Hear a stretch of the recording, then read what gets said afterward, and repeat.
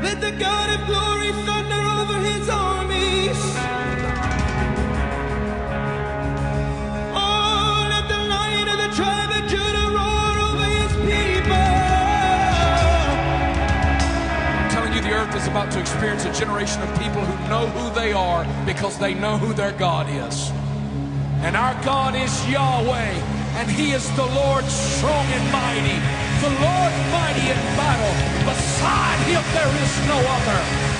Without Him there is no victory, but with Him all things are possible. Somebody praise the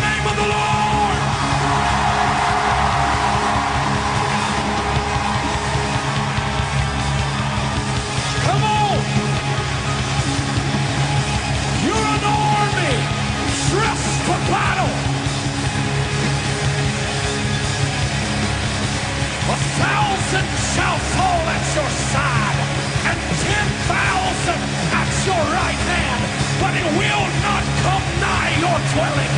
No weapon formed against you shall be able to prosper. The battle is not mine, but the battle belongs to the Lord.